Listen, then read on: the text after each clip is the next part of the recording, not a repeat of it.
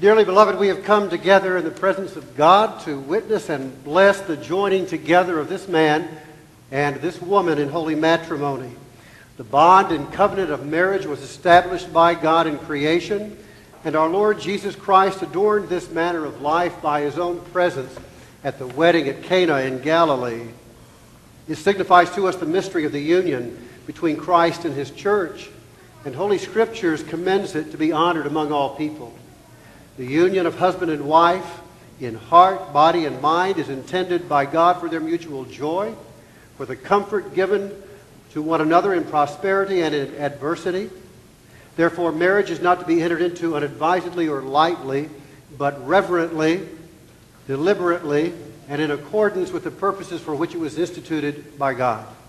Into this holy union, Judi Abel and Richard Pennell now come to be joined.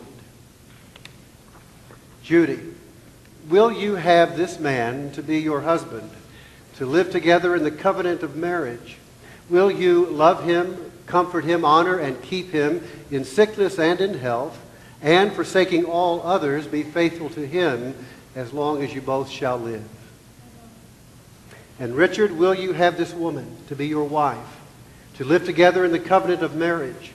Will you love her, comfort her, honor, and keep her in sickness and in health, and forsaking all others, be faithful to her as long as you both shall live?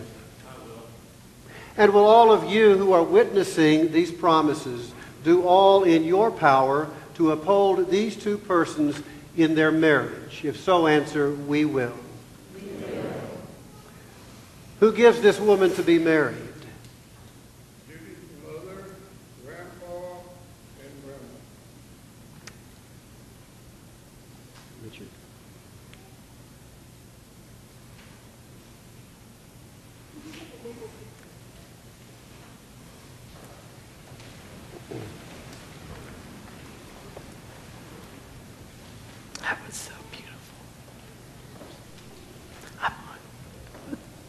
The Lord be with you. Let us pray. O gracious and ever living God, you have created us male and female in your image.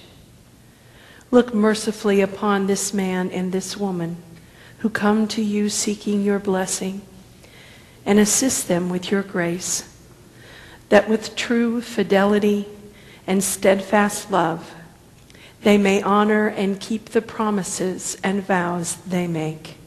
Through Jesus Christ, our Savior, who lives and reigns with you in the holy in the unity of the Holy Spirit, one God, forever and ever.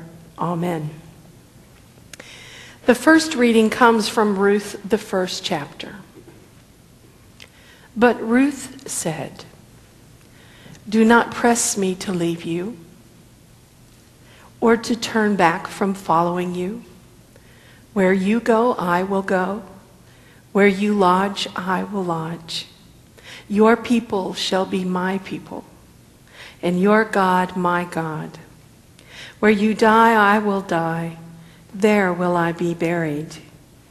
May the Lord do thus and so to me, and more as well, if even death parts me from you. The second reading comes from Revelations chapter 19. Let us rejoice and exult and give him the glory, for the marriage of the Lamb has come, and his bride has made herself ready. To her it has been granted to be clothed with fine linen, bright and pure. For the fine linen is the righteous deeds of the saints. Here ends the readings. On the front of the invitation, and now I see also the bulletin, is a drawing of a castle. It is certainly not a menacing fortress, it is a palace for a prince and a princess.